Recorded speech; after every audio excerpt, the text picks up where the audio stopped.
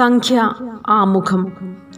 സീനായ് മലയിൽ എത്തിയ ജനം അവിടെ നിന്ന് പുറപ്പെട്ട് വാഗ്ദത്ത ഭൂമിയുടെ അതിർത്തിയിൽ മൊവാബ് താഴ്വരയിൽ എത്തുന്നതുവരെയുള്ള ഏകദേശം നാൽപ്പത് വർഷത്തെ ചരിത്രമാണ് ഈ ഗ്രന്ഥത്തിലുള്ളത്.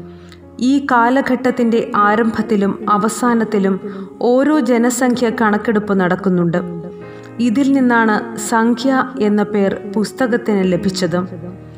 ഇസ്രായേൽ മക്കളിൽ യുദ്ധശേഷിയുള്ളവരെ എണ്ണി തിട്ടപ്പെടുത്തുകയായിരുന്നു കണക്കെടുപ്പിന്റെ ഉദ്ദേശ്യം.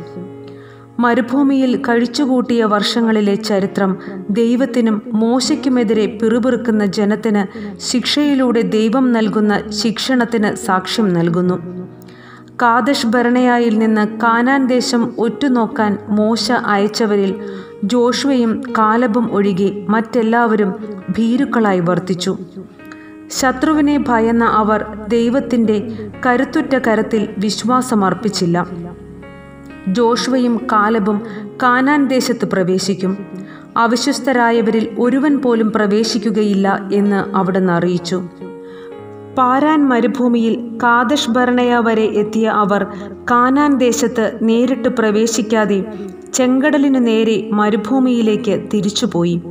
മരുഭൂമിയിൽ ചുറ്റിത്തിരിഞ്ഞ് അവർ മൊവാബ് താഴ്വരയിൽ എത്തി.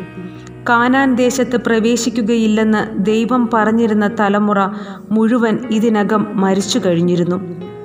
കോറഹിന്റെയും അനുചരന്മാരുടെയും എതിർപ്പ് പിത്തള സർപ്പം ബാലാമിന്റെ പ്രവചനങ്ങൾ പാറയിൽ നിന്ന് മോശ ജലം പുറപ്പെടുവിക്കുന്നത് തുടങ്ങിയ സംഭവങ്ങൾ സംഖ്യാഗ്രന്ഥത്തിൽ പ്രത്യേക ശ്രദ്ധ അർഹിക്കുന്നു.